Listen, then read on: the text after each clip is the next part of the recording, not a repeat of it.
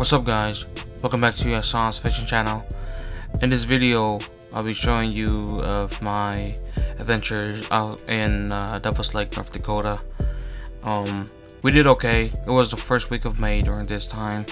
Water temperature is still pretty cold.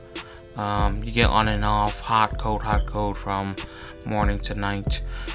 Um, me and my group of friends, we did okay. It wasn't the best since it was still really early but we did caught a lot of pikes and um, later on on uh, Saturday we did catch some white bass and some crappies.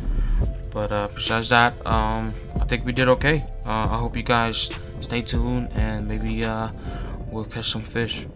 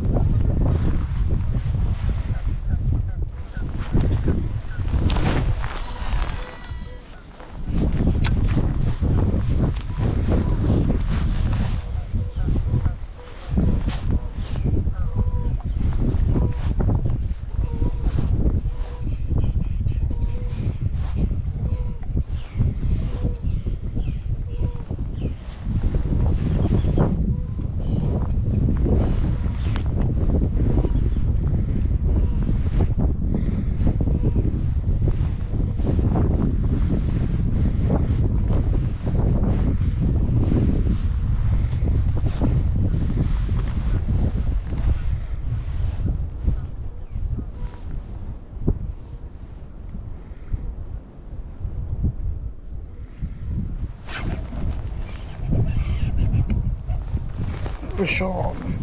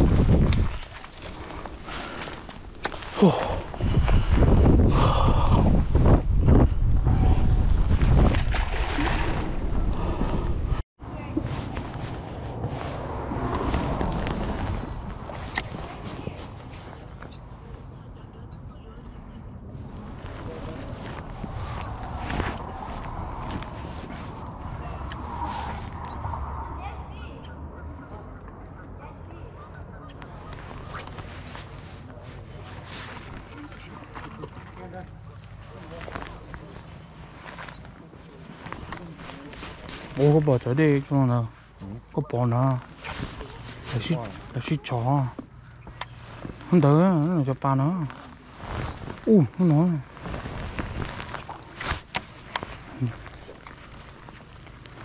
cái khó nó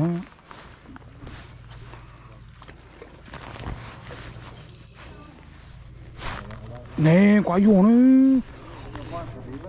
bỏ này trời, đen trơn trơn nữa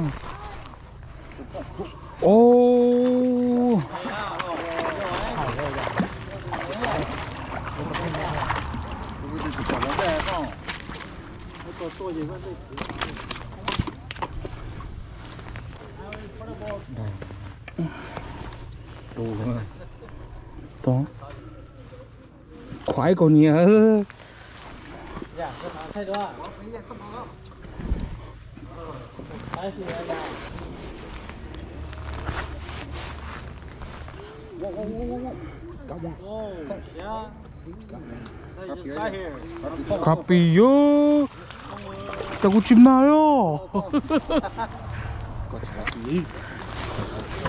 너도 깔아라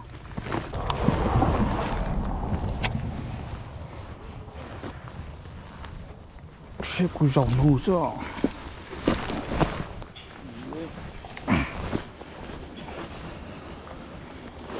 Ôi dồi